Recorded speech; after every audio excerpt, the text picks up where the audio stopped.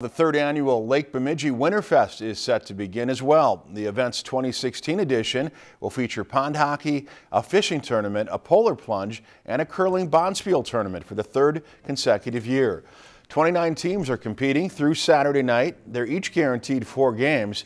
In the end, there will be four winners who will be awarded with the honor of getting their names on the official Winterfest curling trophy. I woke up one night in the middle of the night and I envisioned Paul Bunyan holding up a sheet of ice with a rock on top of it and I told one of our one of our curling, you know, friends on our on my committee and he goes, "I can do that."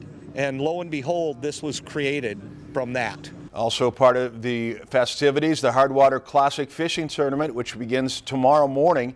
People had through Friday to pre-register, but can still sign up the day of the event for $35.